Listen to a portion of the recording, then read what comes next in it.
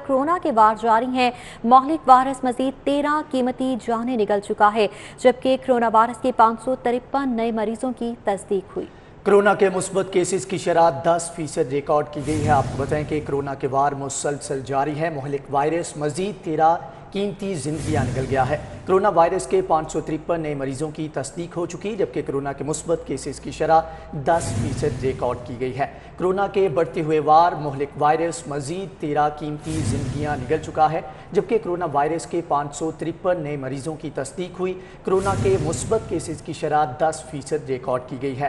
Corona के बढ़ते हुए वार, जबकि मोहलिक वायरस की जानब से मजीद तेरह कीमती जिंदगियाँ निकल ली गई। कोरोना वायरस के पाँच सौ तिरपन नए मरीजों की भी तस्दीक हुई है, जबकि कोरोना के मुस्बत केसेस की शरह दस फ़ीसद रिकॉर्ड की गई है। आपको बताएँ कि कोरोना के वार मुसलसल जारी हैं, जबकि मोहलिक वायरस मजीद तेरह कीमती जिंदगियाँ निकल चुका है। कोरोना वायरस के वार लगातार जारी हैं। मुस्बत केसेस की शरह में भी मुसलसल इजाफा देखने में आ रहा है और इस हवाले से बारह तलकिन की जा रही है। तबी माहरीन की जानब से भी, ज़िले इंतजामिया की जानब से भी कि वैक्सीन लगवाई जाए, क्योंकि वैक्सीन ही कोरोना वायरस से निजात का वाद हल बताया जा रहा है। इस हवाले से मजीद डिटेल्स देंगे अजमत आवान हमारे साथ मौजूद। हैं। जी अजमत आवान, बताइएगा, मुस्बत केसेस की शरह में बदतदरीज इजाफा देखने में आ रहा है। क्या कहना है तिबी माहरीन का, कब तक इस चौथी लहर से निजात मिल पाएगी?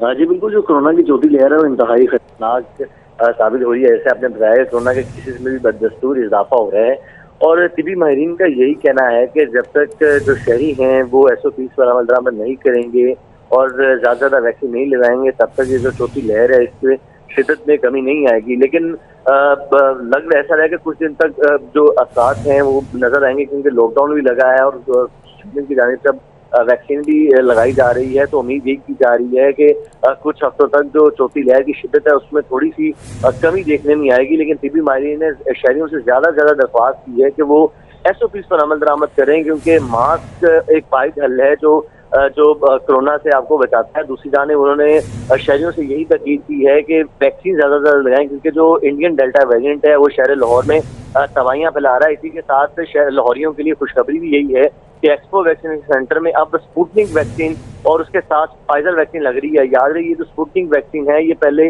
जो शहरी थे, वो महँगे दामों, निजी अस्पतालों, निजी लेबोरेटरी से लगवाते थे। अब इनको मुफ़्त एक्सपो सेंटर में वैक्सीन लगाई जाएगी। तो महकमा सेहत की जानब से शहरियों से यही तकीद की जा रही है कि ज़्यादा से ज़्यादा तादाद में आके लोग वैक्सीन लगवाएँ। वैक्सीन लगवाने की तलकीन की जा रही है। असमत आवान, बहुत शुक्रिया आपका।